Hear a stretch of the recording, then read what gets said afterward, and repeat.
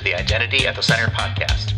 This is the show that talks about identity and access management and making sure you know who has access to what. Let's get started. Welcome to the Identity at the Center podcast. I'm Jeff, and that's Jim. Hey, Jim. Hey, Jeff. How are you? Not so bad. Yourself? Good, man. You've been uh you've been the traveling guy lately. How's that been? It's good. Well, I mean, you know, the traveling is fun. I had a terrible travel experience on what was it Monday, trying to get from Chicago to Houston because of storms. Uh, I'm not sure why they let us take off from Chicago, but what should have been like a four or five hour door to door trip turned into like a 12 hour uh, trip because of uh, weather in Houston so I got to spend some quality time with the tarmac uh, at Oklahoma City Airport for about two and a half hours, three hours. uh, they couldn't let us off the plane either because there were no gates because everyone was being rerouted. So, uh, yeah, that was that's my fun travel story for this week. So did did you have to wear a mask on the plane? Didn't have to, but I did. Okay. What what would you say percentage wise? How many? What percentage of people were wearing the mask? I'd say about fifty percent. Okay, higher than I thought it would be, but yeah, there was there was still plenty of people wearing masks in the airport. Uh, at least that I've been between Houston and um, Chicago O'Hare in the last uh, week or so that I was traveling. So, um, I think people at this point have grown comfortable with it. Um, at least some people have. Uh, yeah, I won't. Well, I won't say that I wear mine all the time, but when I was on the plane, I did, especially with uh, you know sitting in coach uh, when you're kind of on top of everybody. Um, and for whatever reason, I don't know. I was just United having a stinky plane, but when you sit on the window seat, you get like the the exhaust vent from like the, the down side of it, and yeah, it was it was not a pleasant experience. So I'm actually kind of glad I had, had the mask uh, with the window seat. Well, you can tell, Jeff, you're back to commoner status if you're driving, if you're flying uh, domestic, because I know when you and I were traveling all the time, you're getting upgraded quite a bit, and uh, yeah, I just can I can barely picture you in in uh, coach class. yeah, well, you know, I think it's been a while since I've been on the road so much, but I still I, I I'm I'm missing the upgrades by like you know one, two, or three people you know ahead of me. Uh, I did upgrade manually, as in I shelled out money to not have that same experience coming home from Houston. so, okay. uh, so of course that flight went fine, and uh, you know, kudos to I guess United getting there in one piece. Um, so they seem to have trouble though getting the jet bridge to work because both sides. So after, so part of this was like, okay, I land in Houston on Monday. Um, after it's already been like 10 hours to or 11 hours to like get wherever we're going and then we pull up to the gate and they can't get the jet bridge to like stay in position. So that was like another half hour or 40 minutes or so that they're trying to figure that out. And then when I get back to Chicago just a couple days ago, the exact same thing happened with the jet bridge in, in Chicago. So I don't know if it's just all my karma that I've had relatively good travel with for for a while just kind of built up and this was the trip, but I got I'm going to go to DC in a few weeks, and then I'm going to go to San Francisco. So hopefully, those are better travel experiences. Yeah, I haven't traveled for business since it's been over two years now since our last trip to DC. And you and I were supposed to travel to a conference earlier this year, or was it end it was of last, last year? year? October late, 2021. Yeah, and I wound up coming down with you know what I thought might be COVID. It wasn't COVID. Uh, but anyway, too sick to travel, and I haven't traveled for business this year, and I am um, I'm hoping that picks back up. Uh, I've got I'm like right on the precipice of platinum status with Delta, so a couple trips this year, and I'll be good going into next year. And I think I think platinum's kind of the breaking point where you wind up getting upgraded most of the time, as long as you're not flying to somewhere really desirable like you know, Las Vegas or cross country flight. Might be different for Delta. I mean I'm platinum on United, and that has not been my experience. But I've also been going to pretty busy places, so guess we'll see. Yeah. So I mean, conference season is starting to kick back up. This will be, you know, one of our topics for today. Um, I'm hoping to hit a few conferences this year, but it's like, you know, there, there's such a great smorgasbord of conferences out there. You know, you got the Gartner IAM Summit, which you know, coming up for me was always kind of like the Uber event of the year for identity and access management conferences. But I think there are some great contenders now. There's Identiverse, which I think some folks would make the argument that it's, you know, the more important uh, singular uh, conference event for IAM. Uh, I've never been to Identiverse.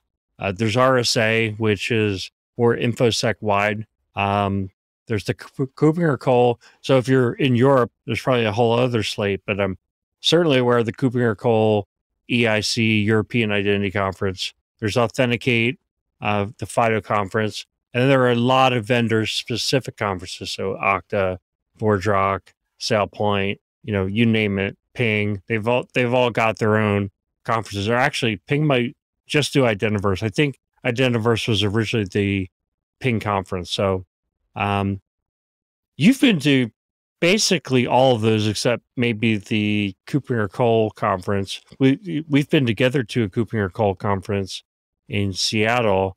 couple mm-hmm. years back. Um, but kind of what's your impression of each one of those? Maybe start with the Gartner IAM Summit. Yeah, I think um, Gartner's a good one. I I enjoy it. I think it's more focused on like the business side of identity and access management. So I think there's certainly value there. I have, you know, historically it's been a little bit vanilla, but I've noticed at least pre-pandemic, I've not been to one uh, during or or post-pandemic at this point. I'm hopefully make it out later this year.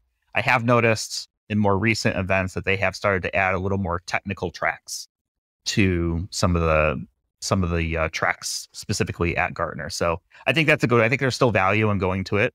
Um, it's in Vegas, I believe. It's usually like right after Thanksgiving in the U.S., so like the first week of December. But they've moved it up to August, I believe, for this year. So August in Las Vegas is you're probably going to stay inside, uh, or you burn to a crisp. Uh, if you're like me with your with my my play my pale complexion, uh, but that's a good one. Um, so I, am planning well, ahead on that one. Yeah, real quick on that one. So um, my thought always was, if you are, you know, maybe you've been in the business world for 10 years, 15 years, whatever it is, but you're new to IAM. I think a lot of our listeners kind of fall into this space where, you know, they've been doing project management or IT or information security, and now they're picking up this new area of identity and access management. I think this is one of the best conferences to go to to really educate yourself on what is identity governance and administration, what is access management, you know, learn more about multi-factor authentication, privilege access management, how to run a good IAM program. So I think those are great things. I think if you are you have been in the IAM space for a long time, from a networking perspective, seeing some of the old faces, usually quote unquote, everybody's there. Um, and also great vendor hall at the Gartner Summit. I think it's usually at Caesars. Do you know if this year if it's at Caesars? Yeah, I think so. I have to look and see, but I'm pretty sure it's at Caesars again.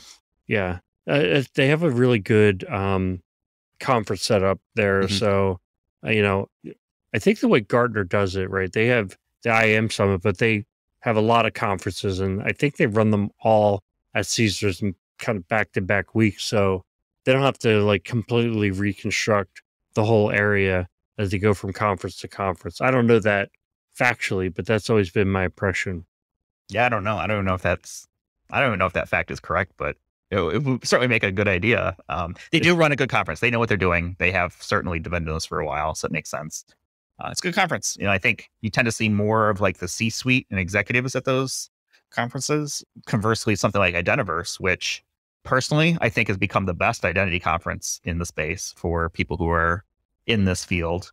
Um, it did start off as a as kind of like the Ping Identity Conference, but they've done a really good job of sort of making it a little more neutral. It is still a Ping conference, but there is tons of identity related stuff going on. It's the home conference for IDPro, uh, which I'm a fan of.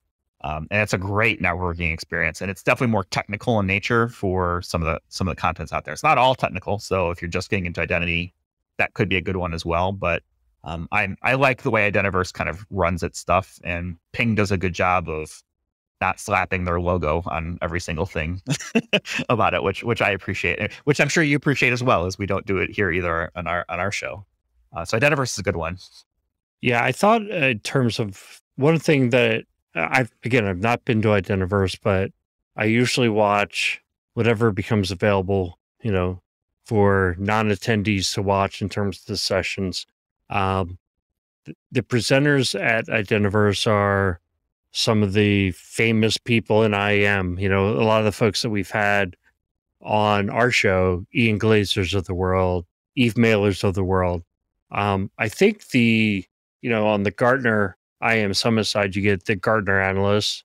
Uh, you also get uh, folks from the key sponsors of the conference. So, not to say that those people don't do a great job of presenting, they do, uh, but just that's the kind of the compare and contrast. I think that on the Identiverse side, you get kind of the the field of people within um, the space that you may or may not know those folks, but they've generally been in the space for a long time. Yeah, good, smart people. I think. I, I think if I were going to compare like Gartner and Identiverse, I feel like there's more passion for identity at Identiverse. Not that there isn't good things to be had out of you know the Gartner side of it because there's certainly value there too. But I feel like the people who are going to it are passionate. They're dedicated to identity, and you know it's a good one. I'm I'm I'm I'm not going to shill it for it anymore because I think it's a great conference. Go check it out. It's at the end of June. I am not sure if I'm going to make it this year. This might be one that I end up skipping just because of all everything that's going on uh, personally and professionally. But uh, if I can make it, I'll make it. Otherwise, um, I might have to skip this year. Um, I am going to be at RSA. I'm planning on being there in a few weeks. That is, uh, let's see, like kind of the first full week of June. Um, that is definitely more broadly infosec, as kind of you were talking about.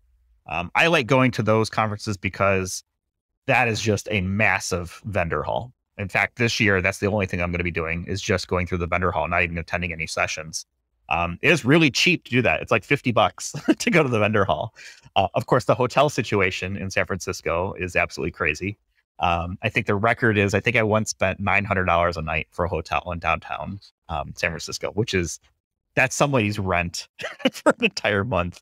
Um, but that's what happens when you wait to the last minute. So if you haven't gotten a hotel already, you're probably going to be staying in like San Jose uh, or you know somewhere north of the bridge and kind of commuting in for it.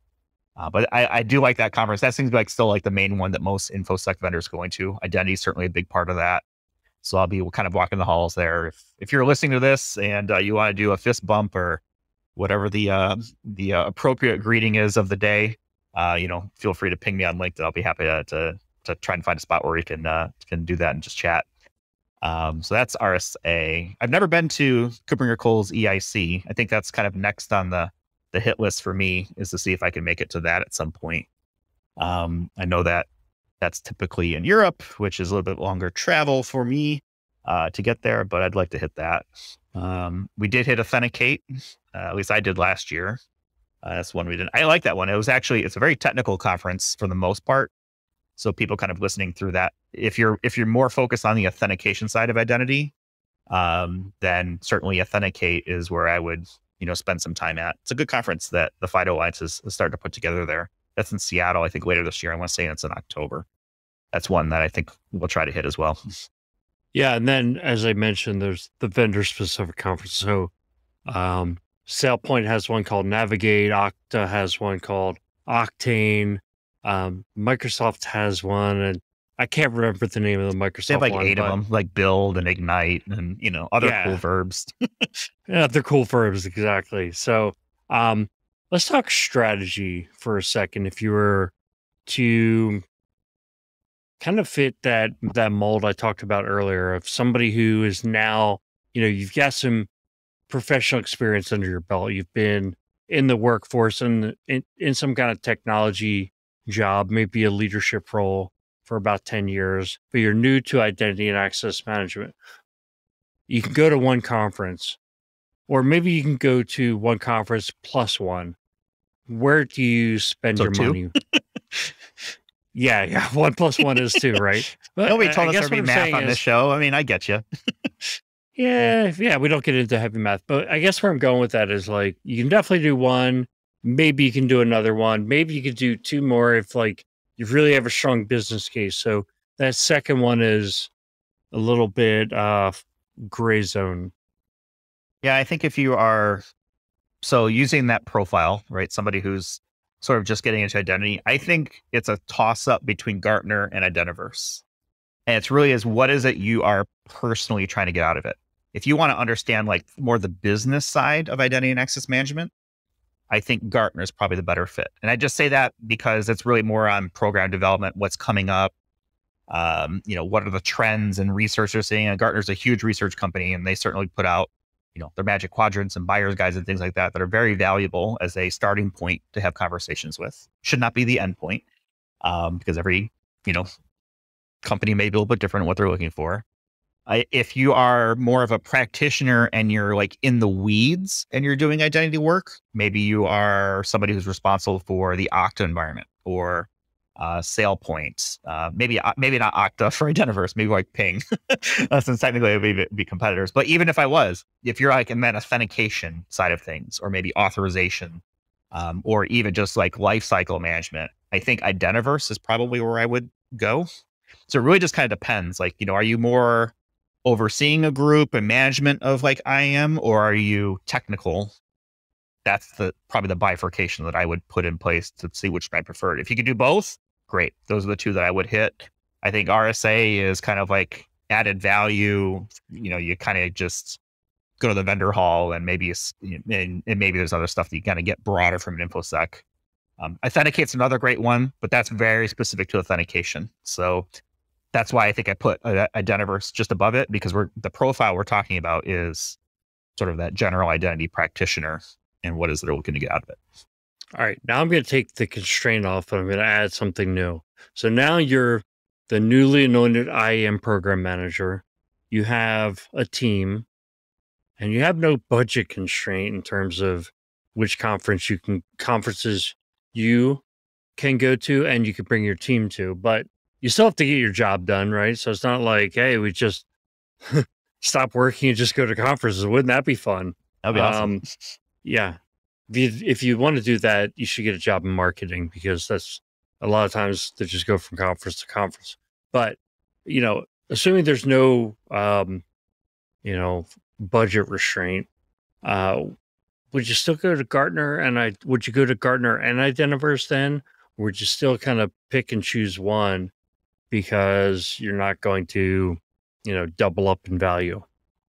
I would go to all of these. If I had if I had the time and the budget to do everything, I would go to RSA in the spring. I would go to Identiverse in the summer. I would go to Gartner in the fall or winter. I'm not sure if, which season they're going to stay with at this point.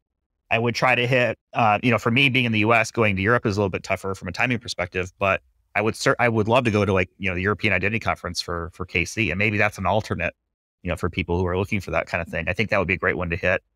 Um, you know, authenticates in the fall too. I would go to any conference that I think gives me an opportunity to meet people, learn what's going on in the industry, and learn what's coming up from a trends and what are people thinking about. I think that's really the value. The biggest value to, too is getting into that networking mode and having those hallway conversations. I think I, I have talked about in previous episodes, but you know, me talking, you know, quantum cryptography with Roger Grimes at Authenticate last year was awesome. It was just a 45 minute thing that we had standing at like, you know, those, those standing tables and we're just kind of going back and forth. And he was gracious with his time. And I was asking probably like basic questions, but I learned a lot just from that 45 minute conversation. Was it a tracked that was on the, you know, the schedule? Absolutely not. It was just something that, you know, organically happened as we were kind of sitting there and it's like, hey, you know, thanks for being on the show and stuff like that. Kind of talk about that experience and one thing led to another. And, you know, now I'm a quantum expert is, is the way I look at it. yeah, total expert. Yeah. Uh, and and the world gets to benefit from that. But no, I mean, you make yourself a better IAM consultant for sure, or if you're a program manager, whatever role you play in the IAM world, uh, you're a better practitioner of that. Yeah, I think so. I think you have to really understand what what is you want to get out of it. I think sometimes there's also the perception that oh, it's just a vacation, right? I get to go to a cool city and you know that's it. if that's what your if that's what your intention is, then you're not gonna you're not getting better. right. It's a vacation and you're basically kind of cheating yourself out of the opportunity to learn more in the identity space. And hey, if that's what to do, cool. But for me, it's, it's not a vacation. They're long days because work has to get done regardless of whether, you know, you're at a conference or not. So you have to kind of plan around it. And, and, uh, you know, I, I treat it as an opportunity to continue to educate, get smarter, know what's going on in the space, things like that. Well, you really bring up an interesting point there. So if you're the manager of a team, maybe you can just you can't go to the conference yourself. Maybe you're sending a couple of your team members. What's your expectation for them to do their day job while there's a conference going on? Because I think the worst case scenario is you're spending, let's say the 900 bucks a night. You know, let's pick, scale it back to yeah. more realistic, but you know, you're spending a thousand dollars a day to have somebody there when you all in on travel and conference pass and all that. And then they're just working on their day job all day and not paying attention to the conference, skipping sessions, you know, yeah. not enjoying themselves. I think you have to you you've got to if you're going to send somebody to a conference, dedicate let them dedicate their time to that. Don't plan on, you know, trying to split you know, someone who's responsible for, you know, provisioning accounts and have them doing that their day and then go to a conference at night. That's not how it works. Conference taking place during the day.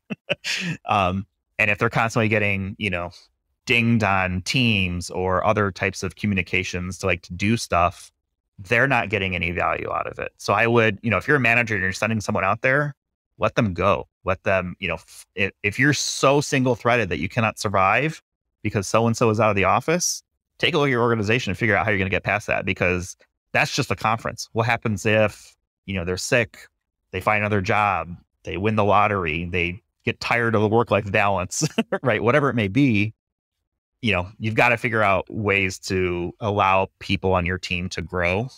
Um, I know it can be tough sometimes from a budgeting standpoint and kind of scheduling, but you're making the investment in the individual I think there it's incumbent on the individual on, in, on the individual to take advantage of that and do the right thing, go to the conference, learn something, bring back maybe that information to the team.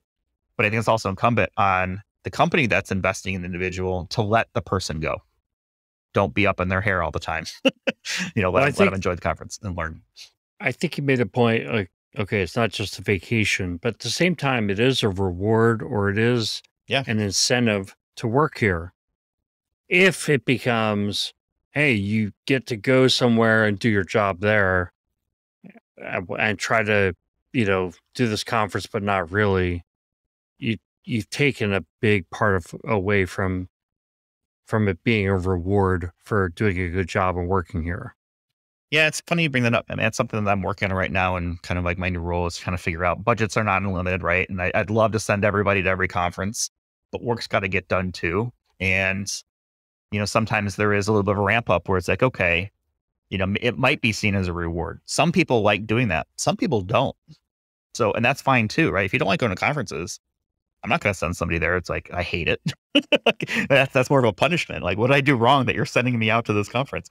Um, you know, I think, I, I think you're totally right though. It's, it, it, it, it is a benefit if you're being sent to one. If you want to take advantage of it, great. That's it. I also think there's a potential option where we're in this virtual work world where we don't all go into the same office like we maybe had done in past years. Um, potentially, if a large portion of the team is going to something like Identiverse or Gartner, having an opportunity for people to meet in person because I know for a lot of the years of working with Identropy and you know productivity, I've not had the opportunity to meet very many people face to face. Yeah, I think having that, yeah, you know, it's a great spot to like, get together, right? Even if it's just a handful of people. I certainly enjoyed it with the Identropy days. I, I, you know, I worked for Productivity for a year and three months and never went to a Productivity office. I never met anybody face to face from Productivity. I mean, I knew the Identropy people, obviously, and you and I right. talked all the time.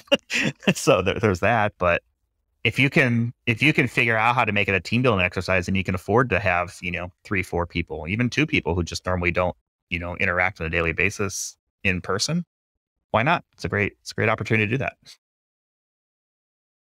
so if you don't mind i'd like to kind of shift our conversation away from conferences some boring um, conferences move on next enough on conferences dang it um yeah no so just you know going through linkedin uh, there's just been more and more people posting really good content.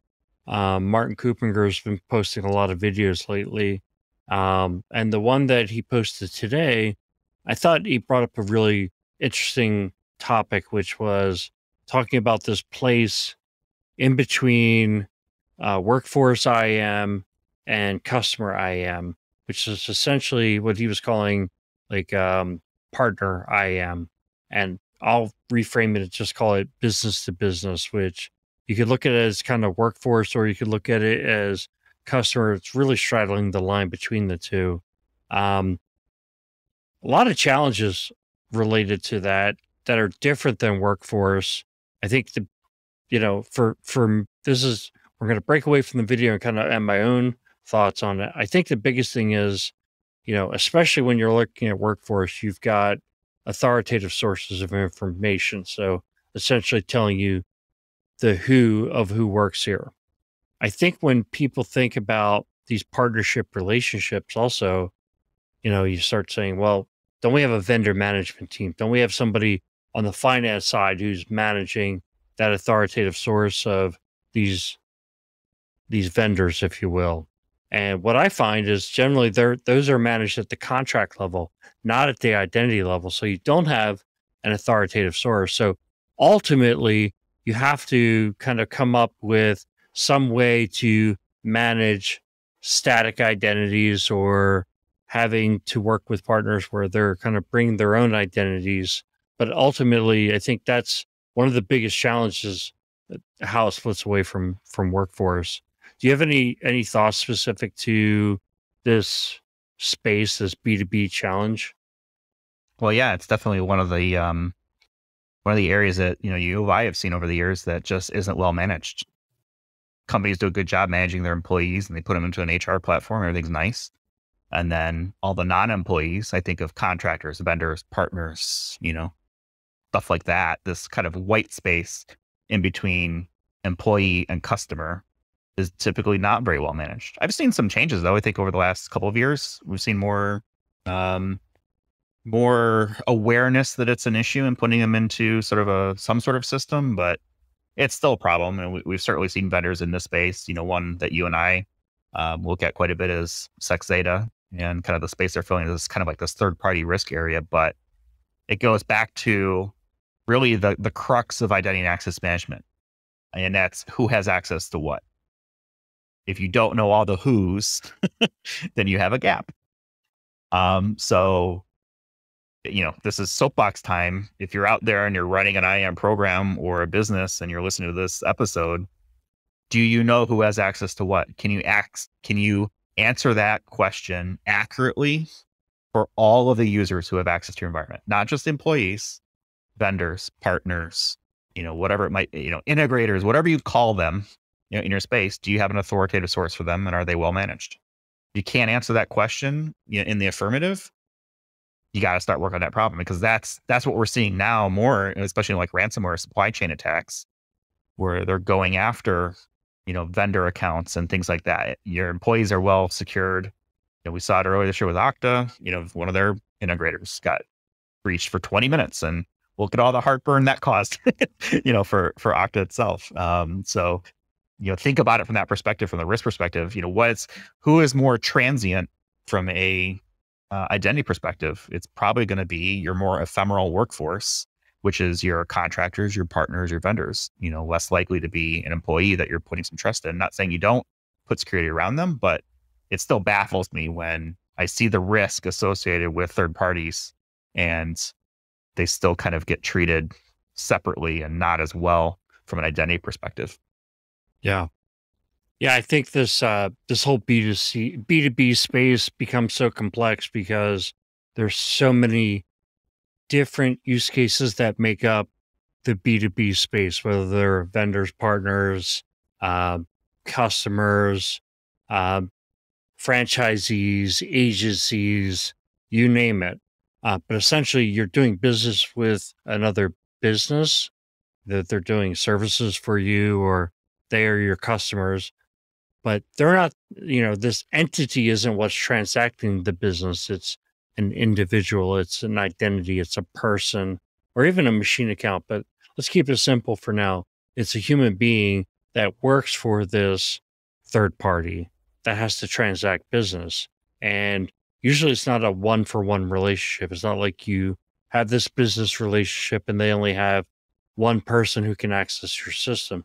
Typically it's multiple people. So then you have all these different use cases around who's going to be the administrator from that side. Can they create access for other people? Are there multiple levels of access? What if they have a hierarchy within their organization? So I'm doing business with another business, and that business has multiple sub businesses under it. Now, how do I handle that complexity? And so you mentioned SecZetta. Uh, they they really specialize in that area. There are a few others like Fieldglass, Covisint. There's one that's looking at called uh, mycypr.com. Uh, it looks like a cloud-based service, but you know, just talking with the folks over at I think that you know they're really trying to tackle this problem. I know that they're working with another company that I've worked with as a client on um, tackling it from a franchisee side. Franchisee is a, a major use case within this business partner relationship environment. Um, and I think that if they solve it for the franchisee side, it could be, you know, a lot of that could be leveraged in an agency scenario. So as they build out their support for use cases, those use cases can probably be extended um, to, you know, meet other organizations' needs and demands. So, um, but I I think the ultimate takeaway is like the the biggest challenge with this, like when you look at workforce IAM, there are major platforms like SailPoint and Saviynt and all the other IGA vendors who, you know, they've they've kind of solved all the major use cases. Like you put your identities in an authoritative source, you manage the who there, and then you do access requests here, you do your access governance here, and you provision out from your IGA platform. So it's kind of like, for the most part, the problem has been solved. When you look at the B2C side, a little bit less so, but when you're talking about just like an e-commerce platform or business to individual B2, B2C scenario, um, it's much more straightforward. And, and those basic identity workflows like registration, profile management, have been solved within products. So ForgeRock, Auth0, all those major platforms, Salesforce, they've kind of got those baked in and solved. It's this B2B where there really hasn't been a product solution that you can kind of just say that's the go-to. Um, from an authentication side, you can leverage those same authentication tools they use for B2C, you know, to to validate that who's logging in is actually who they say they are, to perform auth- authorization, things like that. But in terms of the identity management side and even more complicated delegated identity management, that's just a piece that really hasn't been solved well. And I've always felt like it's a huge area if somebody would go after it. And I, I think SecZetta is going after it. Uh, but I, you know, I think that is a space that continues to evolve. Yeah. I mean, we're really talking about really more of like the people and the process side of things of managing these types of identities. Um, and certainly SecZetta, there's Field Fieldglass is another one that I've seen. You're, the use cases are, I feel like pretty much the same, not the same, but you know, 75, 80% are probably pretty consistent across.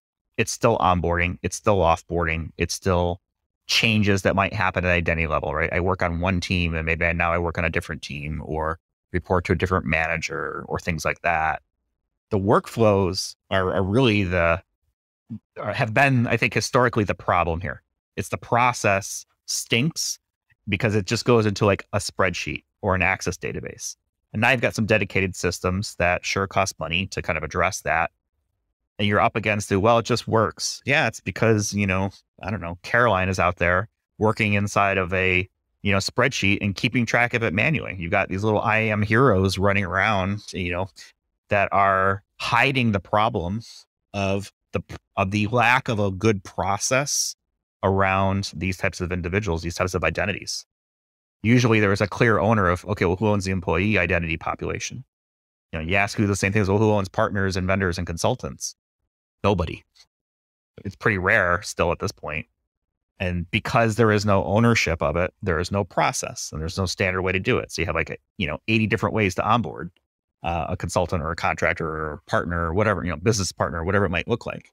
And then you get into the the details of like, well, how are we going to manage these? Is it going to be a manual effort? We've got to go out and build out identities in our own environment to do that. Okay, well, we know that Jim's going to come in and, and run an advisory engagement, and we're going to give him an AD account and access to SharePoint and things like that. You know, there's overhead that comes along with that. Do you allow maybe BYOID, which you know, bring your own identity federation? You know, can you federate with, you know, the Microsoft you know 365 tenant and let somebody come in and then give them appropriate permissions i think you and i have seen that in the past like you know organizations struggle just sharing between each other sometimes you know from a document perspective because of all the security controls concerns around data proliferation. Um, yeah i love know, what are your the, thoughts on that one?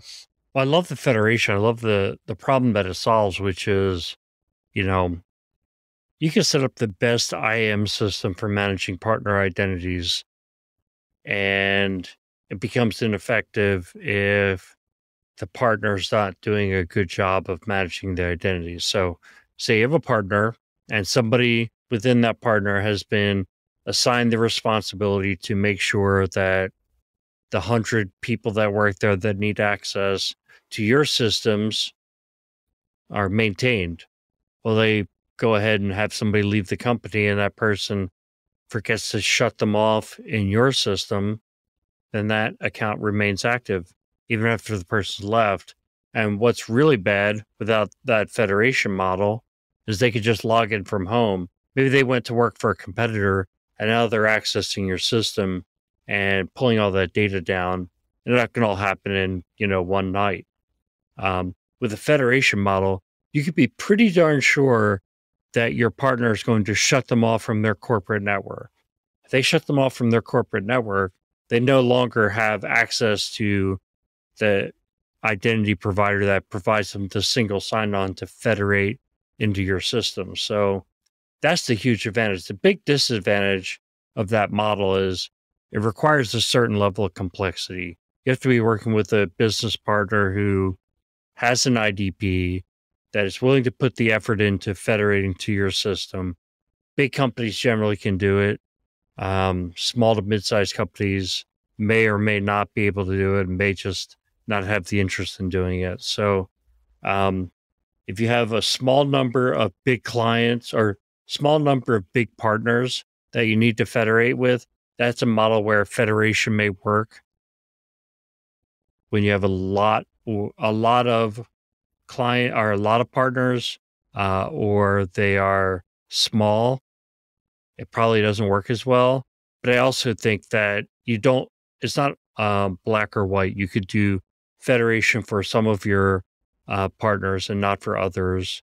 You just really have to kind of take that strategic approach. And that's where it's going to look, where it's going to come down to the details. So let me ask you a question. Put your prognosticator hat on. Is I feel like what we're describing here is a legacy identity and access management problem. The reason I say that is because more and more companies are moving to the cloud. They no longer have the on-prem active directories or, you know, those kinds of authentication sources and they're moving more to Azure or AWS or GCP or any of these other, you know, Okta, Universal Directory or Ping Directory, whatever it may be, which theoretically makes it easier to perform these trusts, right? From a federation standpoint, from authentication or even social login, whatever it might look like what does this look like in let's say five years? Give me give me a Jimmy Mac IAM prediction for you know the cross pollination of identity across organizations where federation is the norm or do you still think, yeah, we got a long way to go still, and uh, it's going to be more of a challenge? I think it's more of the latter. I think it's still going to be a challenge. I think more companies will have the technical wherewithal to solve the problem. But I still think it's going to come down to we only have so many hours to invest in doing things. So, um, you know, doing this IT work, these performing these integrations. So, if it's a very important integration to federate with your system, companies will put the time in to federate to your system um, because they will have the technical wherewithal. Uh, however, it's kind of that same scenario I was talking about. If you have like thousands of partners that you have to integrate, it's probably not going to be technically feasible. I think you're right. This is a legacy IAM problem from the standpoint of this has been the problem for the past 10, 15, 20 years where federation has been a capability and, you know, if you have very large, sophisticated partners that you want to federate with, setting up an identity SAML federation or um, OAuth 2 federation is feasible to perform. When you get to many companies or less technically sophisticated, I think what you're pointing out is that they may be less technically sophisticated, but they're just going to be forced down a path and they're going to have this capability. The question is like, yeah, even if they have the capability, will they know how to use it? Uh, the second thing is, you know, are they going to put in the effort to build the federation? Because that is what's going to be required. And if you're a really small organization, you probably don't have an IT person on staff. So that means you have to pay your consultant to build the integration. Now, let's say, yeah, I can, you know, my IT person will build the integration for five hundred dollars. How much work are you doing? Yeah. Is it worth it? It may not. It may not be. And maybe there's a way to make this more self-service and kind of dynamically API based, right? I'm, I'm sure. I don't think technically it's a lot of work. I think it's usually more political than anything, uh, unfortunately. But yeah, you're right. Not having infrastructure. Um, okay, well, you heard it here first. So uh, federation is going to be is never going is never is never coming to any of us we're going to continue to live in silos of identity and you know jimmy mack has spoken and thus it will be well you know what and and passwords aren't going away overnight either yeah well we've been hearing that for a very very long time it's funny you know but we're recording this on a friday this is going to go live hopefully on monday if i can get it edited in time but it'll already be may I feel like this year has passed by so quickly already. Um, it'll be May, and then next, so next, it'll be May 2nd when this goes out. And May 5th is World Password Day. Did you know that? I knew that May 5th was Cinco de Mayo, and you should have a margarita. Absolutely. You should celebrate. I am a, I'm a fan. Uh, chips, salsa, margaritas, uh, you know, Wait, I thought you were a queso guy. Oh, of course, queso. I don't know if that's I don't know if that's strictly Mexican invention or if it's like, you know, something bastardized it somehow by adding a whole bunch of cheese to something. But yes, I am a a queso connoisseur for sure. Yeah. It's kind of like um there's something on the the Chinese food menu that people told me is it's not Chinese food. That's like I don't know, trying to like sweet sour chicken or something like that. It's like that's not real Chinese food, man. That's uh, American Chinese food. Yeah, I so guess I don't want to. Kind of fits into that. Yeah, I don't. I want to make sure I don't offend. I don't have the whole history behind it, but I enjoy it all. Um, well, melted cheese. So yeah, I mean, who would be offended by that? It's totally healthy. Yeah, you'll be fine with it. Um, so World Password Day is May fifth. Uh, we'll focus on you know the lesser known, probably of the two holidays. Um, I certainly have thoughts about this. What are your thoughts on World Password Day? Well, I I feel like we're kind of um at we're mentally all kind of like, all right, we're at the sunset of the password. But I also feel like here on the Identity at the Center podcast, we need to continually remind ourselves to not just uh, take our United States, you know, perspective or our Western perspective and just say this is the way it is worldwide. I mean, the reason that the password has become so popular is it's universally um, adoptable worldwide. So if you can get to a computer that has a keyboard and has a screen that can pull up a an application, you have the input device to authenticate yourself by typing in a shared secret or a password, right? You don't have to use a biometric. You don't have to get a factor sent to your device that is something other than the computer. So that's the benefit. And how do those two things come together? Well, I think there are places in the world where, you know, people still go to internet cafes um, and are using a computer that's not theirs. They may or may not have a cell phone, or the cell phone may not have the sophistication to use a biometric. So I think we're going to be celebrating World Password Day for quite a while. I guess that's the perspective that I wanted to bring. I hate it. That's my opinion. I think it's stupid. We're celebrating something that nobody likes. I mean, this is like we're gluttons for punishment. I get why it's there. It, you know, it's supposed to drive like awareness or something, but um, I think it's just dumb. I don't. That's my personal opinion. You went way more philosophical uh, than I did on it uh, with uh, you know the deepness. Me, I just think it's stupid. Why would we celebrate something that nobody likes? You know, let's just get rid of the password. But you bring up some very valid points. It's not for everybody yet. So I unfortunately think that we'll be celebrating Password Day, uh, or at least marking it, observing it. Maybe not celebrating is the right, probably not the right word. Uh, but I just think it's, I think it's dumb. I'm not gonna, I'm not gonna throw any of my weight or support behind it. what if it became a day off from work? Okay, now we're talking. Now it might become one of my favorite holidays. it's a, a holiday of for nothing. Uh, right. Yeah. It kind of sounds like a Seinfeld episode. Well, if the whole point behind password day is like drive awareness and like, you know, tell people, well, you really should change your password, you know, on some sort of rotated schedule, which NIST and Microsoft and others over the last couple years said, no, you shouldn't do that. It might take you an entire day to go through all of your accounts and change all of your passwords. Um, you know, I'm guessing, I don't know how many we have. I know I have at least a few hundred accounts in my password manager. If I had to go and change every single account, that would take me at least a day. And I would certainly expect that that I would not be doing any other work other than that. So there, there must be some holiday that you do enjoy, though. Anything revolving food, Thanksgiving, Christmas, Cinco de Mayo. um, yeah, I, I, I uh, am, am a equal opportunity uh, holiday celebrator, especially if it's one that has a day off from work. Those are my favorite ones. So Thanksgiving, most people have turkey. Uh, most people in the U.S. have turkey, mashed potatoes. I guess is a U.S. holiday, but I think a lot of countries have some kind of uh, Thanksgiving equivalent, right? Um, I'm not sure. When I was growing up, you know, it, for we had Christmas would be the same meal as Thanksgiving, and then New Year's would be ham, mashed potatoes, things like that, and then we would do St. Patrick's because I'm Irish, and we would have corned beef and um, actually corned beef and sauerkraut, which I don't think is maybe that was just the German influence that found its way in.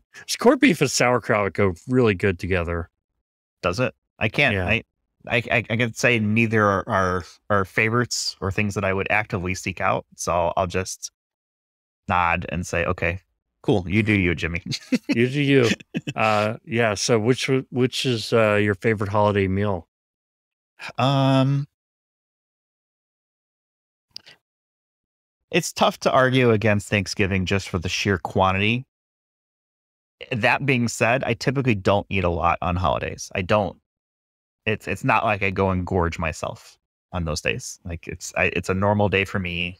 It's more about getting together with friends and family and just kind of relaxing and chilling out. The food is sort of like secondary, but I think just the availability typically associated with Thanksgiving holiday means that there's generally more types of food around. So I'm more of a snacker those days. So let's, uh, so I'll go with that just for that reason alone.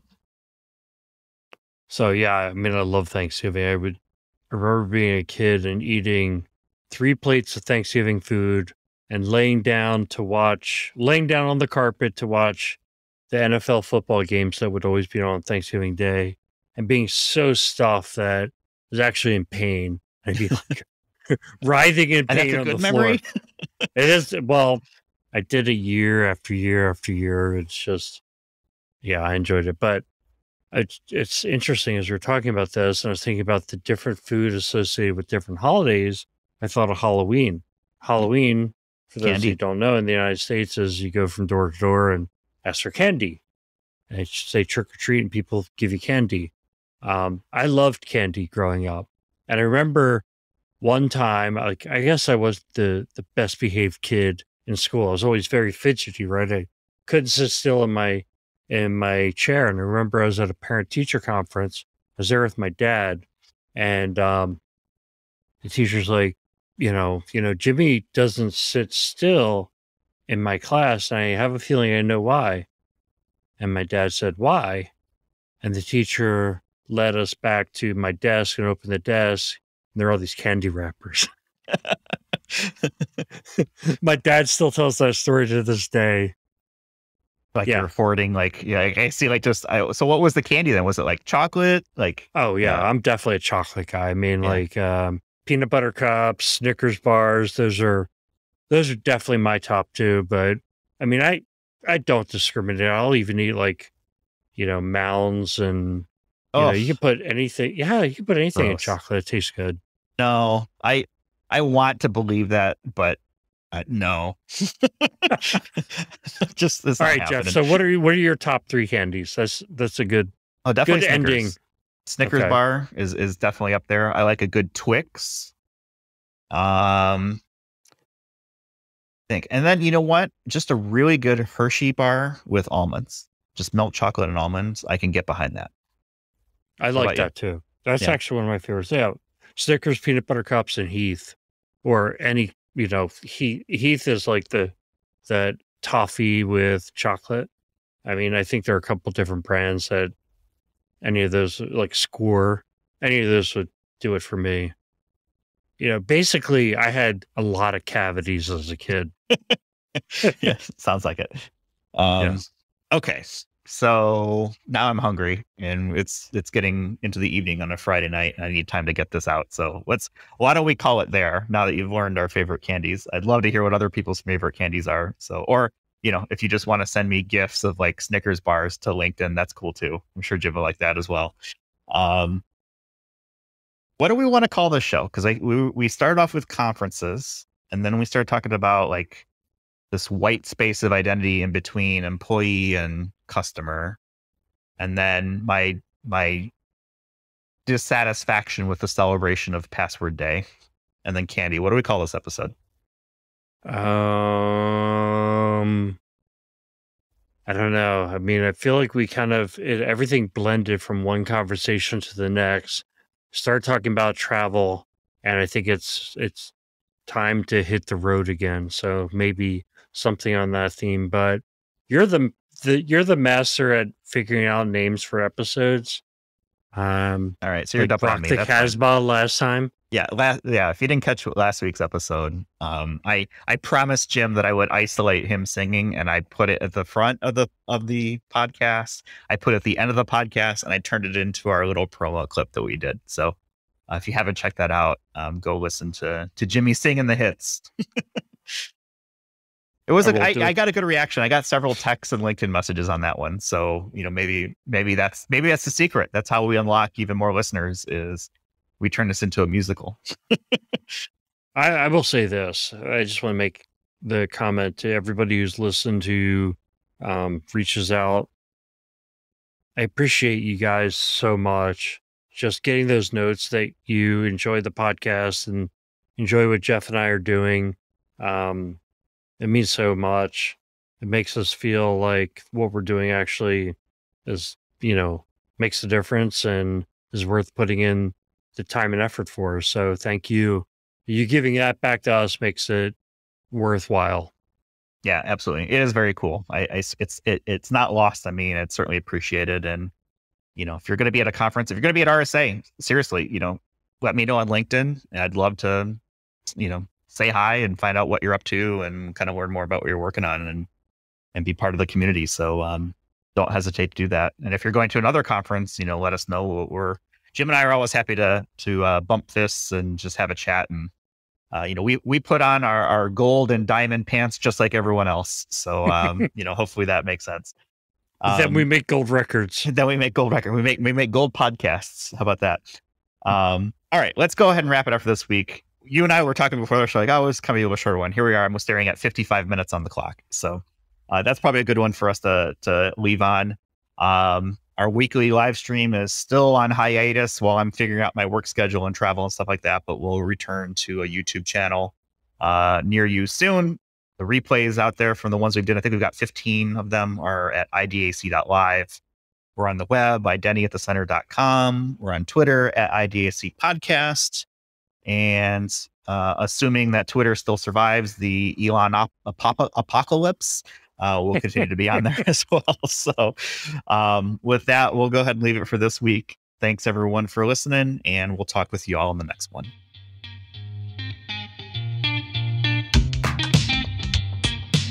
Thanks for listening to the Identity at the Center podcast. If you like what you heard, don't forget to subscribe and visit us on the web at identityatthecenter.com.